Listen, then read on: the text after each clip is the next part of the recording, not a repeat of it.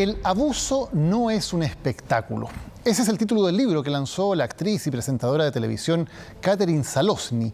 En él ella relata su historia como víctima de abuso sexual por parte de su propio padre. Daniel Herrera conversó con Katy Salosny y este es su testimonio.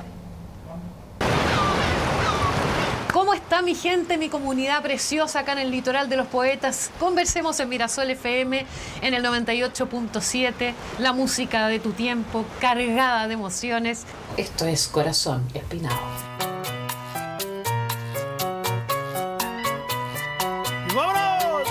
Probablemente la reconoció con solo escuchar su voz. Sí, quien conduce el programa Conversemos todas las mañanas en esta radio local de Algarrobo es la actriz y conductora de televisión, Catherine Salosny. Qué buena canción, por favor, a todo chancho. John Denver, Plácido Domingo, Perhaps Love en la 98.7. La misma Katy que con 58 años dio un giro a su vida y quien hace 8 meses decidió dejar la pantalla chica bien atrás para irse a vivir al litoral de los poetas. Chao Alejandro. Adiós. Que estés bien. Que te vaya bien. Daniela. Hola Katy, ¿cómo estás? Bien, ¿y tú? un gusto conocerte. Igualmente. Vinimos igualmente. a conocer tu vida acá en el Garrobo. Ay, muy bien. Estabas en la radio recién. Sí, en mi querida radio Mirasol FM. ¿Hace cuánto que estás acá? El mismo tiempo que llevo en Algarrobo. Oye, queremos ir a tu restaurante. ¿Sí? ¿En serio? ¿Podemos pasar? Pero por supuesto, vamos, Vamos. yo los invito. Súper. Ah.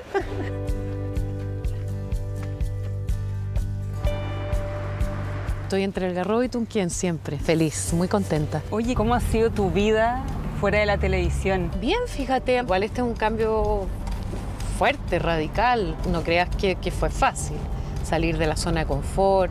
A mí se me cayeron todos mis proyectos con la pandemia. El restaurante cerrado, cero ingreso. Y echar mano a la FC, a los 10%, a mis ahorros. ¿No extrañas la televisión en estos momentos? Al rato sí, uno siente cierta nostalgia, son, más- son casi 40 años de televisión. Bueno, tú partiste en RTU, ahora que es Y televisión. ahora que es televisión. En el Extra Joven. En el Extra Jóvenes, sí. Y en el Extra Mujeres primero. Ahí estuve seis años, sola cinco el último año con Felipe Camiroaga. Felipe tiene.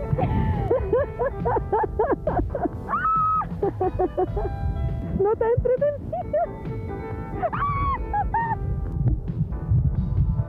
¿Cómo era para una mujer en esos años eh, ser conductora de televisión?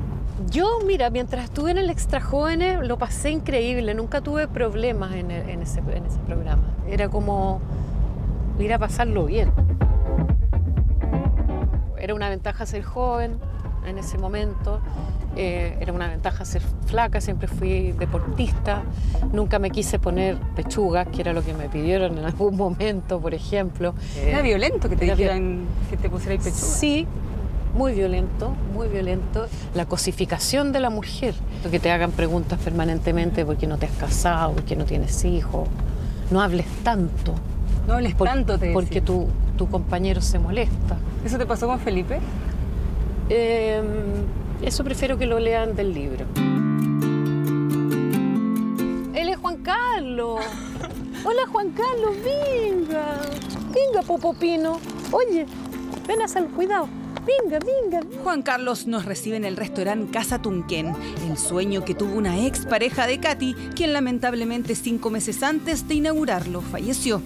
Ella decidió formar parte, tomó las riendas del proyecto y hoy se encarga de recibir a los comensales. Hola, buenas tardes. ¿Cómo están?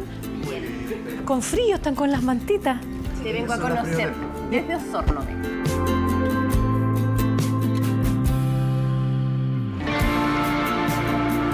Mira el libro que me conseguí en, Mira tú, ¿ah? en Santiago. El abuso no es un espectáculo.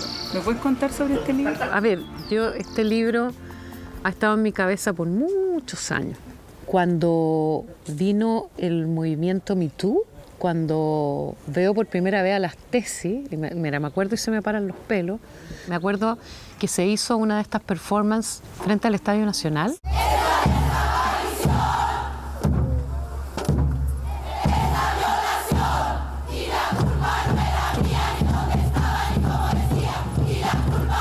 Tantas mujeres, hasta mujeres de 70, 80 años, que se reconocieron como adultas abusadas.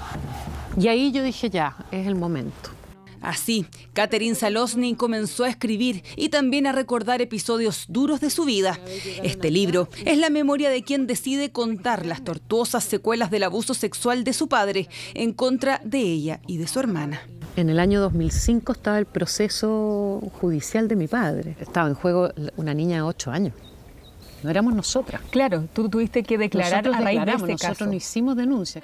Hoy la denuncia de una niña de 8 años que también habría sido víctima de Simón Salosny las impulsó a contar lo que parecía estar sepultado. Y la PDI estaba investigando a mi padre. Y la pregunta fue así. Bueno, está todo el relato acá en el libro. Eh, ¿Hay antecedentes? Sí. Y fue una oportunidad. Fue una tremenda oportunidad de justicia, especialmente para mi hermana Marisol y para esa niña. Tu mamá no sabía que tu papá te había abusado a ti. Se supo cuando tú querías declarar. Para ella fue muy difícil enfrentar todo, no solo, no solo lo mío, sino que todo lo que se nos venía, todo lo de mi hermana, lo que ella misma sufrió, porque es como lo de las tesis, ¿no? Pero a ver si a todos se nos ha metido alguien en la cama alguna vez. Se naturalizaba. Sí, pues se naturalizaba. Y mi abuela y mi tía, y, empiezo a descubrir todo, todo lo que hay detrás, ¿no? Y, cómo, cómo esa carga llega hasta ese momento en que estamos en un proceso de juicio por primera vez con mi papá. Brutal, po el ser víctima de abusos es muy devastador en la vida de las personas y te fragmenta de tantas maneras. La elaboración a través del psicoanálisis fue fundamental. No quería ver la verdad. No quería entender que lo que a mí me había pasado había sido un abuso realmente. Uno carga con muchas culpas también. ¿Sentías responsabilidad tú? ¿Te sentías culpable? Es que eso es parte de la devastación y de las dudas y, de las complejidades que tiene esto. O sea, hay mucha gente que dice, pero ¿cómo denuncia ahora? ¿Cómo saca esto ahora? Perdón. Por favor, no lo digan nunca más porque cada, cada persona tiene su propio tiempo para enfrentar una situación tan compleja como es el abuso. ¿Y por qué ese título? Sí, tiene un contexto. El abuso no es un espectáculo porque a mí, em, cuando en la época de farándula, de la farándula, pero así dura, dura, dura, veo un montón de cámaras y micrófonos y periodistas, así que se me vienen encima a ponerme el micrófono, las cámaras, a empujarme, a apretujarme. Y, ay, ¿qué fue lo que te hice? Y, y unas preguntas de un nivel de violencia, de ignorancia, tan brutales. Tenía una pareja en ese momento y entre los dos redactamos esa, esa carta que tenía como título eso, el abuso no es un espectáculo.